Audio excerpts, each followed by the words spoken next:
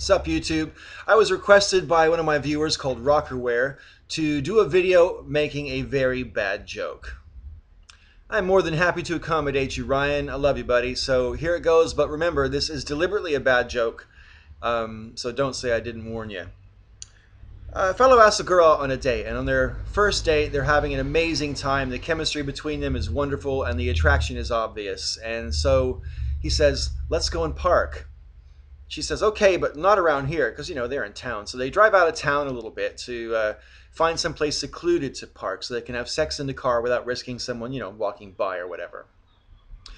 Well, they're making out in the car, and everything's getting hot and heavy. And just before things get really, really raunchy, she stops him and says, Oh, by the way, I should have told you, I'm actually a prostitute. And if you want to have sex with me, it's going to cost you 50 bucks.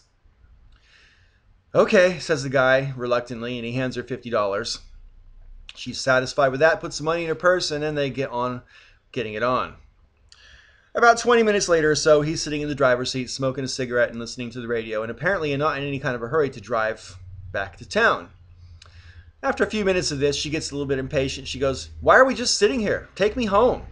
And the guy says, Oh, I should have told you. I'm actually a taxi driver, and the fare back is 60 bucks.